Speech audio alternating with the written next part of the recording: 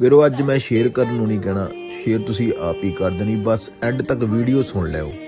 ਕਹਿੰਦੇ ਆ, ਹੀਰੇ ਦੀ ਕਦਰ ਇੱਕ ਜਵਾਰੀ ਜਾਣਦਾ। ਤੇ ਇਹ ਕਹਾਵਤ ਨੂੰ ਸੱਚ ਕਰ ਦਿਖਾਇਆ ਪੈਸੀਫਿਕ ਸਮੁੰਦਰ ਦੇ ਬਚਦੇ ਇੱਕ ਦੇਸ਼ ਫਿਜੀ ਨੇ। ਫਿਜੀ ਦੀ ਸਰਕਾਰ ਨੇ 2 ਡਾਲਰ ਦੇ ਉੱਤੇ ਸਿੱਖ ਸਰਦਾਰ ਦੀ ਫੋਟੋ ਛਾਪੀ ਆ, ਤੇ ਉਹਨਾਂ ਨੇ ਇਹ ਗੱਲ ਕਹੀ ਆ ਵੀ ਸਰਦਾਰ ਕੌਮ 100 ਸਾਲ ਪਹਿਲਾਂ ਸਾਡੀ ਕੰਟਰੀ ਦੇ ਵਿੱਚ ਆਈ ਸੀ ਤੇ ਇਹਨਾਂ ਨੇ ਜੋ ਯੋਗਦਾਨ ਪਾਇਆ ਉਹਨਾਂ ਨੂੰ ਭੁਲਾਇਆ ਨਹੀਂ ਜਾ ਸਕਦਾ। ਉਹਨਾਂ ਨੇ ਇਹ ਵੀ ਕਿਹਾ, ਸਿੱਖ ਕੌਮ ਬਹੁਤ ਬਹਾਦਰ ਕੌਮ ਆ ਤੇ ਇਹ ਸਾਡੀ ਕੰਟਰੀ ਦੇ ਨਾਲ ਮੁਸ਼ਕਲ ਸਮੇਂ ਵਿੱਚ ਚਟਾਨ ਬਣ ਕੇ ਖੜੇ ਰਹੇ ਆ।